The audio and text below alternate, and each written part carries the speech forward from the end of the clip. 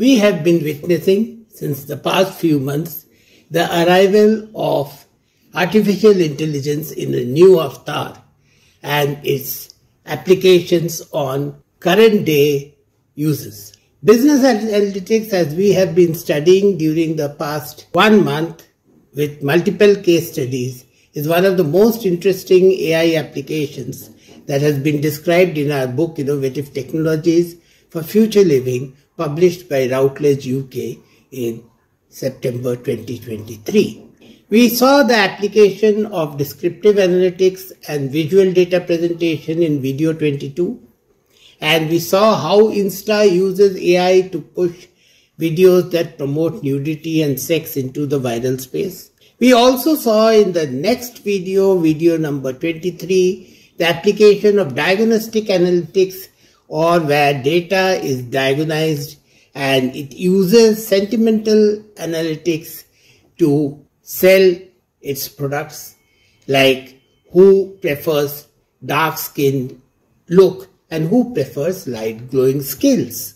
Then in video 24 we saw how predictive analytics shows what will happen in future and how it takes the trend from one consumer and uses it to predict the behavior of the next consumer and how Amazon the world's biggest retailer does it perfectly. And of course, you can also do it by following the same principles. So now in this fourth video, which is prescriptive analytics, we see how the things pan out when you watch the data and when you plan and you have solutions to control the events or the flow of events and go closer to your business goals. So that is prescriptive analytics. What happens is very simple. You have to go and have your plans ready that this is what I want to do. And then when the data comes, you do the analytics and it gives you a feel of what you should do in future to be in control. It prescribes your behavioral pattern to reach a particular objective. Now we will take three separate use cases to show you how this different businesses can use prescriptive analytics for their gains and how you can solve your problems with this AI tool. But before we hear what we have to say next. Just look at this video from the healthcare industry where we study this video clip and you will come to know what the industry is planning. Here's this out. Do remember though that the objective of prescriptive analytics is to help you achieve a goal that you have defined as a business or a company in other words, the recommended best course of action is not necessarily the best in an objective sense, but it is the best in terms of how closely its outcome matches your predetermined goal. For example, these goals could be to double your profits, to shorten your product delivery periods, or to increase the number of students in your university. If we were to pick the first example, which is to double your profits, the prescriptive tool would predict multiple scenarios each comprised of varying strings of action variables. In one scenario, these variables could be decreasing raw supply costs, increasing online marketing spend, and lowering product price points. If the outcome of this scenario leads to a 20% increase in profits over 5 years, whereas the outcome of another scenario results in a 40% increase, prescriptive analytics would propose the latter course of action to the user. Depending on the objectives set by the company, prescriptive analytics leverages combinations of different solutions to carry out its processes. In addition to the tools used for descriptive and predictive analytics, prescriptive analytics also uses mathematical programming, evolutionary computation, probabilistic models, simulation, logic-based models, and more. These are used to map out the different scenarios, the actions, and outcomes within them, as well as the best path to take. you just saw a video clip from CubeWare GmbH, which explained to us how prescriptive analytics works. Remember, prescriptive analytics does not necessarily give you the best solution or the most optimum solution for your problem. It simply requires goal setting by you and gives you multiple options for you to achieve at your goal. So it is not the best solution, but it is only the solution which is best for you to reach at your stated goal. It monitors the data available and then it takes feedback from the results of the descriptive, diagnostic and predictive analytics and using those outcomes does a comprehensive modeling on the alternative routes to achieve your desirable goal. For example, in the state of Pennsylvania, in 2020, there was a sudden spike of deaths in COVID patients. Almost 30% increased deaths due to 10% additional influx of patients. So why did it happen? Now, the AI tool was applied over there.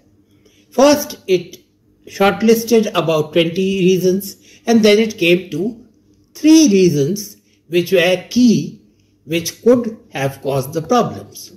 One was that there was a shortage of specialized medical staff to look after those critical patients who had died in COVID. Second was that there was a shortage of certain radiological equipment in the radiology department, which was required for testing, which slowed down the testing process of the COVID patients.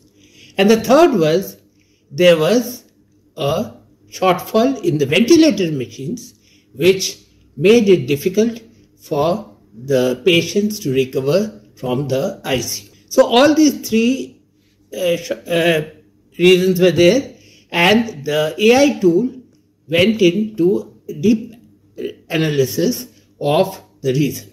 When it increased the supply of medical specialists by 20%, there was no great difference in result. And when it did a simulation and increased the machines in the radioactive radiology department, there was no difference at all. But when it increased the ventilator machines by 20%, the deaths almost fell by more than 50%. So finally, that was diagnosed as the real reason, and just two ventilator machines were finally added to the hospital, and the deaths came down by 50%.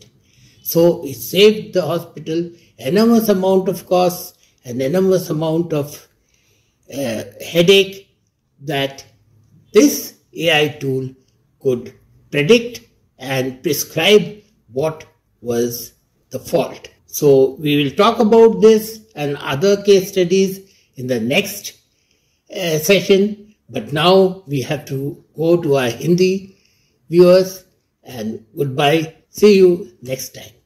Bye. Thank you. दोस्तों, पिछले कुछ महीनों में हमने देखा है कि artificial intelligence और जनरेटिव एआई के आने के बाद सारी दुनिया में खलबली सी मच गई है क्या होगा, क्या नहीं होगा, इस चीज़ के बारे में लोग अनिश्चित हमने भी अपने जो किताब innovative technologies for future living है, उसमें आर्टिफिशियल इंटेलिजेंस का रोल के बारे में डिस्क्राइब किया है और जो प्रधान मुद्दे हैं, जो कि बिज़नेस एनालिटिक्स को बिज़नेस को कैसे ये प्रभावित करता है, उसके बारे में डिस्कस किया है। तो बाईसवें नंबर ऑफ़ वीडियो में हमने डिस्क्रिप्टिव एनालिटिक्स के बारे में विचार किया है, और हमने ये देखा है, क्या फेसबुक कैसे इसको इस्तेमाल करता है, और इंस्टा कैसे ये डिस्क्रिप्टिव एनालिटिक्स को इस्तेमाल करता है, और अपने प्रॉफिट्स को बढ़ाता है। वैसे ही तेईसवें वीडियो में हमने ये देखा है, क्या फेसबुक ये कैसे करता है और कैसे चमड़ों के बेसिस पे मतलब कोई टैंड स्किन और कोई ग्लोइंग स्किन के ऊपर कैसे वो अपना मार्केटिंग करता है और कैसे अपना प्रॉफिट्स बढ़ाता है। और यही चीज़ हमने उसके बाद चौबीसवें वीडियो में देखा अमेजोन को करते हुए, जो कि अमेजोन कैसे अपने किताबों का सेल बढ़ाता है, ये प्रेडिक्टिव एनालिटिक्स यूज़ करके, दोस्तों, पिछले कुछ महीनों में हमने देखा है कि आर्टिफिशियल इंटेलिजेंस और जनरेटिव एआई के आने के बाद सारी दुनिया में खलबली सी मच गई। क्या होगा, क्या नहीं होगा, इस चीज़ के बारे में लोग अनिश्चित हैं। हमने भी अपने जो किताब innovative technologies for future living है, उसमें आर्टिफिशियल इंटेलिजेंस का रोल के बारे में डिस्क्राइब किया है और जो प्रधान मुद्दे हैं, जो कि बिज़नेस एनालिटिक्स को बिज़नेस को कैसे ये प्रभावित करता है, उसके बारे में डिस्कस किया है। तो बाईसवें नंबर ऑफ़ वीडियो में हमने डिस्क्रिप्टिव एनालिटिक्स के बारे में विचार किया है और हमने ये देखा है, क्या फेसबुक कैसे इसको इस्तेमाल करता है और इंस्टा कैसे ये डिस्क्रिप्टिव एनालिटिक्स को इस्तेमाल करता है और अपने प्रॉफिट्स को बढ़ाता है। वैसे ही तेईसवें वीडियो में हमने ये देखा है क्या फेसबुक ये कैसे करता है और कैसे चमड़ों के बेसिस पे मतलब कोई टैंड स्किन और कोई ग्लोइंग स्किन के ऊपर कैसे वो अपना मार्केटिंग करता है और कैसे अपना प्रॉफिट्स बढ़ाता है। और यही चीज़ हमने उसके बाद चौबीसवें वीडियो में देखा अमेजोन को करते हुए, जो कि अमेजोन कैसे अपने किताबों का सेल बढ़ाता है, ये प्रेडिक्टिव एनालिटिक्स यूज़ करके, और उससे, उसे कैसे फ़ायदा होता है, और कैसे वो एक कंज्यूमर का बिहेवियर को लेके दूसरे कंज्यूमर का बिहेवियर प्रेडिक्ट करता है और इस तरह से अपना सेल बढ़ाता है। तो हमने डिस्क्रिप्टिव एनालिटिक्स देखा डायग्नोस्टिक एनालिटिक्स देखा और प्रेडिक्टिव एनालिटिक्स तीनों देखा। और उसके बाद हमने अब ये देख, देखना है हमें क्या प्रेस्क्रिप्टिव एनालिटिक्स क्या होता है। अब प्रेस्क्रिप्टिव एनालिटिक्स वो होता है जो कि बायर को ये बताता है कि उसे क्या करना चाहिए। मतलब अगर ये हो रहा है तो हमें क्या करना चाहिए? अगर इसका कोई कारण है, उस कारण को एनालाइज करके, उस डायग्नोस्टिक एनालिसिस का कारण को एनालाइज करके, उस डेटा को एनालाइज करके, जो डिस्क्रिप्टिव एनालिटिक्स में है, और वो प्रडिक्शन को एनालाइज करके, जो कि उसका बिहेवियरल एटीट्यूड को प्रेडिक्ट करता है उसको करने के बाद हमारा प्रेस्क्रिप्टिव एनालिटिक्स का रोल शुरू होता है जो कि हमें क्या करना चाहिए जो कि हमें इस तरह के रिज़ल्ट मिले। और ये चीज़ हम अगले तीन वीडियो में बताएँगे जो कि वीडियो नंबर 26, 27 और 28 है और इसके बारे में कैसे कैसे सॉल्व करते हैं।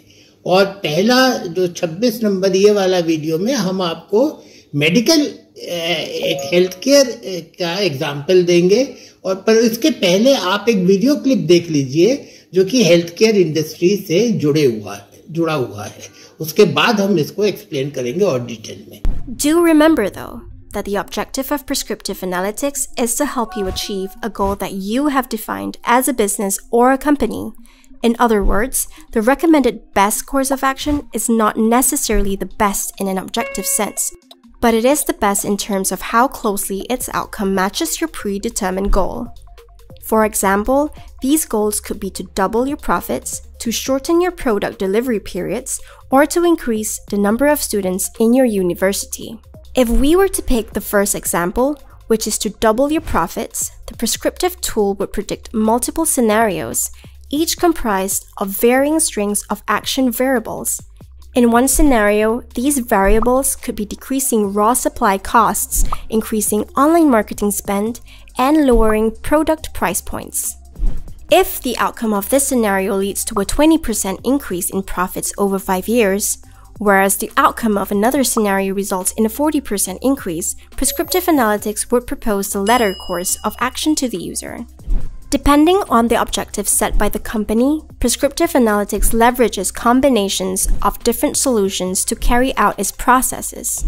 In addition to the tools used for descriptive and predictive analytics, prescriptive analytics also uses mathematical programming, evolutionary computation, probabilistic models, simulation, logic based models, and more. These are used to map out the different scenarios, the actions, and outcomes within them, as well as the best path to take.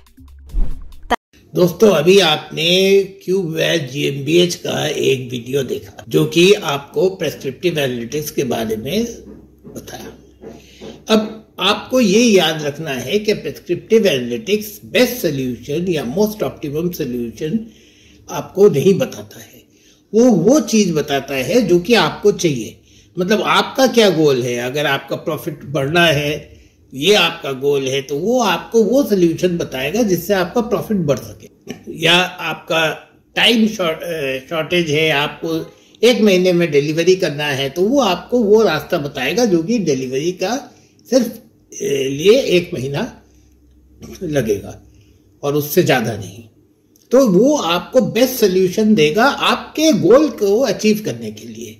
वो क्या क्या monitor करता है, वो descriptive analytics के items को monitor करता है डायग्नोस्टिक को मॉनिटर करता है प्रिडिक्टिव एनालिटिक्स को मॉनिटर करता है और सारे आउटकम लेके वो एक कॉम्प्रिहेंसिव मॉडलिंग करता है, जो कि सारे ऑल्टरनेटिव रूट्स को ये छान के वो एक निष्कर्ष पे पहुँचता है कि आपको क्या करना चाहिए। अब मैं आपको एक एग्जांपल देता हूँ, जो कि आपको एकदम समझ में आ जाएगा। अब पेनिसिल्विया में 2020 में एकदम से एक अस्पताल में मौत बढ़ गया। थर्टी परसेंट डेथ्स हुए एक्स्ट्रा उस कोविड हॉस्पिटल में, जहाँ पे सिर्फ़ टेन परसेंट पेशेंट्स ज़्यादा आने लगे। तो तो ये इन लोगों को पता नहीं चला कि दस परसेंट ही तो पेशेंट्स बढ़े हैं। उसके लिए थर्टी परसेंट डेथ्स क्यों बढ़ गए?